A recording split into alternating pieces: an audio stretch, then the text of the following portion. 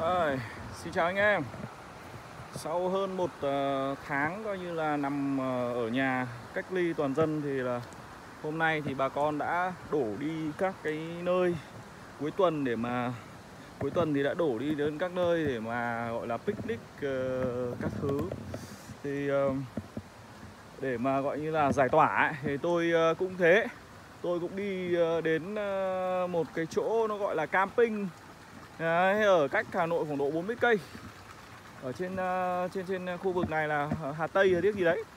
Đấy thì uh, à, giới thiệu cho ờ, uh, 500 anh em xem này. Đây. Đấy thì là những cái khu như thế này thì tôi đến thì cũng gặp khá là đông. Khoảng độ có khoảng độ gần uh, gần uh, chục cái xe gì đấy vào đây.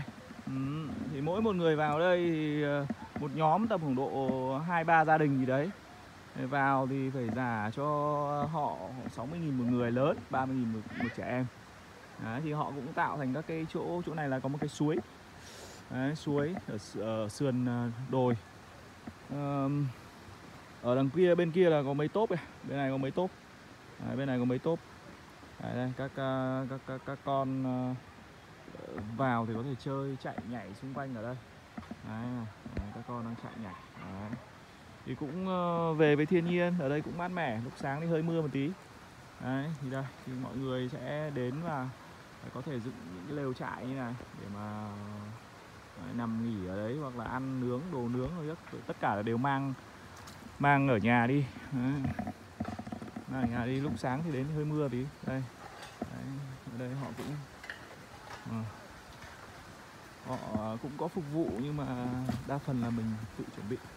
Đấy, thì mọi người đều làm những cái lều bạc kiểu như những cái lều lều đấy, bây giờ xu thế là như thế. Ở trong thành phố nó bí bách thì đi ra ngoài này nó nó, nó hòa với thiên nhiên. Ừ. có cũng có nhện rất là to. Người xem con nhện.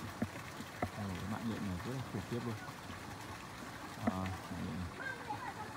Đây có zoom lên có con nhện to lắm. Đây, thấy không? Mọi người thấy không? Đây con nhện này. Nhện này. Đấy đấy nhện rất to con nhện nó phải to bằng à, uh, nhện này này đây, con nhện này chắc nhện độc còn to lắm nó phải to bằng uh, bằng, bằng, bằng ngón uh, tay cái Đấy. Đấy thì có khoảng độ 5 6 chắc là chúng khoảng chục đấy. Họ cũng dựng được chục cái khu cái khu mà mọi người có thể cắm trại. Đấy. Dưới này là cái suối. Đấy. À, suối. Mọi người có thể xuống đây để đi lội suối. Đấy. Lội suối đây. Đấy. khá đẹp đấy. Suối. Đấy.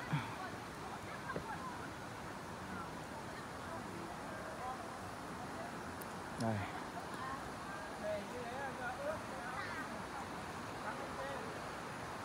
Đấy, đây lại có một nhóm nữa. Đây là nhóm của tôi.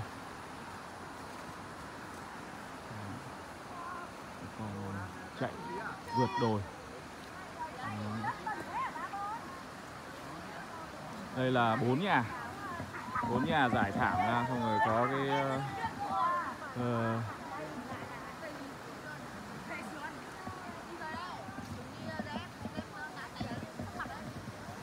đây có các cái đồ nướng.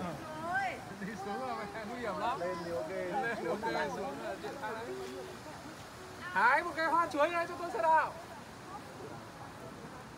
Đây có một cái uh, lều trại này. Đấy, lều trại. Lều trại. Lều trại. Đấy. Thì trong lều trại có gì không?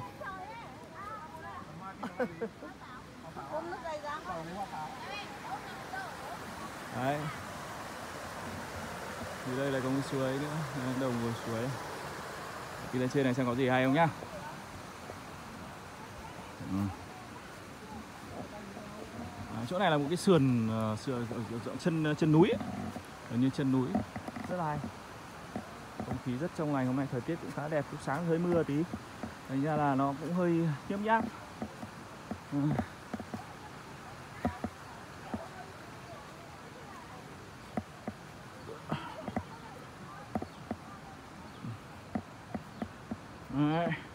Hôm nay chạy Vinfast ờ, lên đây anh em ạ. Trèo lên đồi vô tư luôn. Cực sướng. Đấy. đây có thể nói là hòa mình với thiên nhiên. Trên này có một cặp ờ, đôi. Đây có một cái hoa bông hoa rất đẹp này. À, hoa này không biết hoa gì. Đấy không? đẹp không? Đấy đây. Bông hoa rất đẹp này. Ừ. Rồi đây có một nhóm à, thanh niên. Nam thanh nữ tú. Đốt lửa trại này luôn. À, nằm ngục đây Đấy, rất xinh Đấy.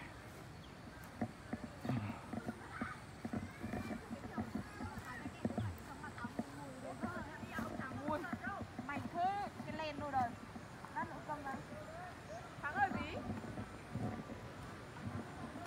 Có hai em hot girl hai em cơm rất là xinh à.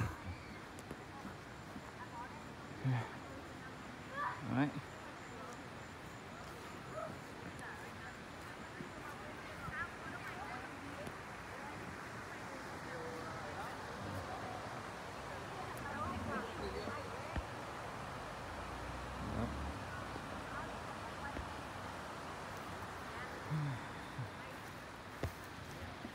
đây là đây là cái xu thế của dân thành phố anh em ạ. Đấy. Thế rồi nó lóc lại.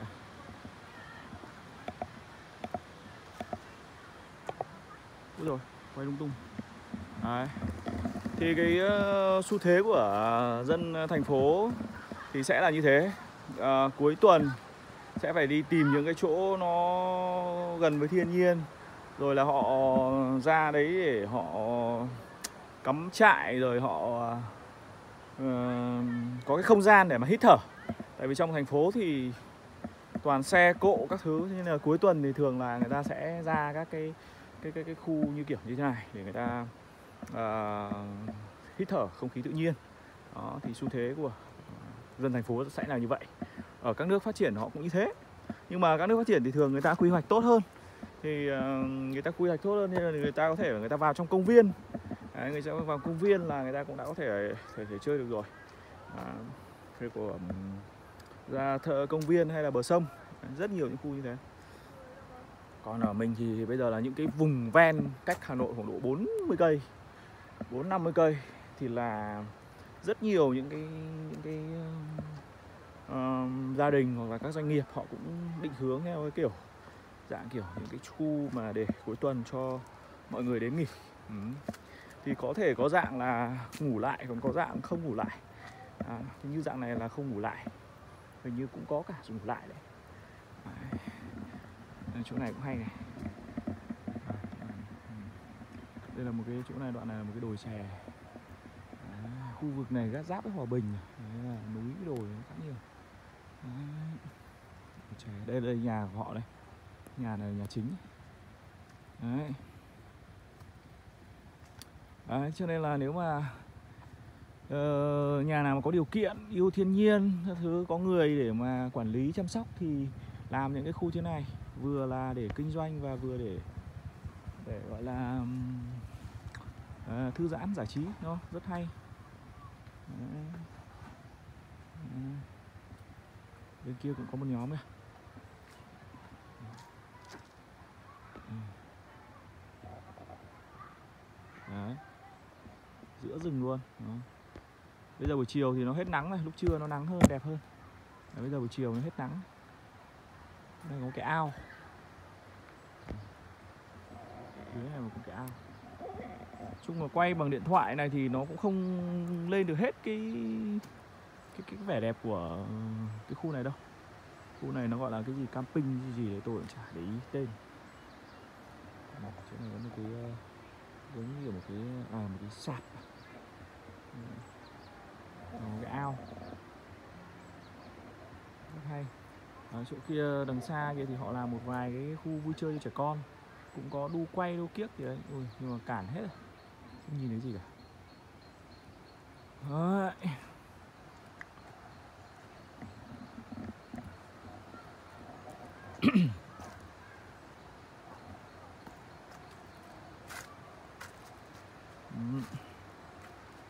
mới đầu tôi đến đây thì tôi bảo thế mấy à, tôi đi là có bốn gia đình. Nhưng mà đi đường sau mình thấy bao nhiêu xe lạ mà không hiểu là thế nào. Họ đi đâu mà đi cùng đường mình mà ra lên họ cũng vào đây.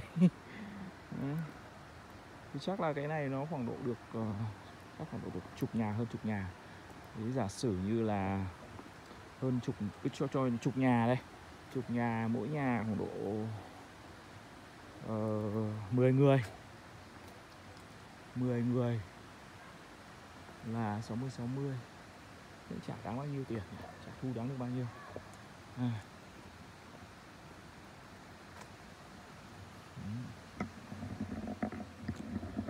Ok. Anh em nhớ subscribe kênh của tôi nhé để mà đi chơi đâu thứ gì tôi chia sẻ. Xin chào hẹn gặp lại.